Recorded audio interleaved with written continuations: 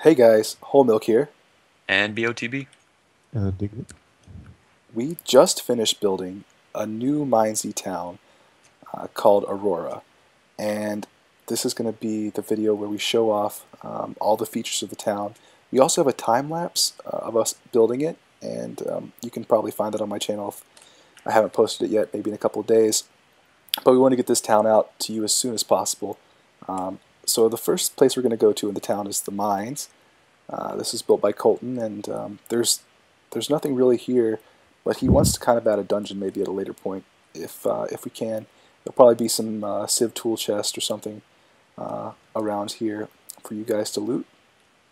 Um, then if we go through the town, there are a couple little places where you might be able to find some Civ Common or Civ Store loot. Um, oh, and there's something else back over here, right? The uh, The igloo. the igloo. Or is- cave, or whatever you want to call it. yeah, this is uh, G-Wiz and Xalvor's igloo. Probably some more Civ Common loot. And then we got the church, right? Yeah, the church. Um, I'll just give you a brief description of how we came up with this town, guys. Uh, the town was pretty much we're making this town for the underground cavern or the cave system Oh, yeah. in MineZ. Yep. And uh, because the cave system entrance is in the uh, snow biome, we decided to go with a snowy, icy theme. And as you can see, we pretty much achieved that. Everything's ice. Um, so that's pretty much our whole basis around this whole town. There's also an armory over here.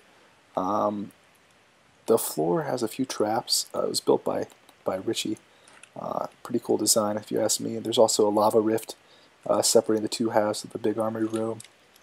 Um, there is a brewing stand in here that's accessible. It's it's hidden in the ice, but if you need to brew some pro- potions, you can you can brew them up. There's also a crafting table uh, in the town, but we're not going to show you. Oh, Oh, Oh what my God. happened? I'm so good at this game. Um, so yeah, might be a cut there.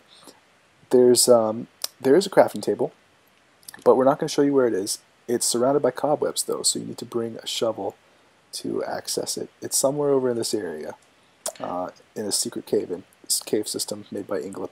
And back there, guys, there is an iron door. I don't know if you can see that right now.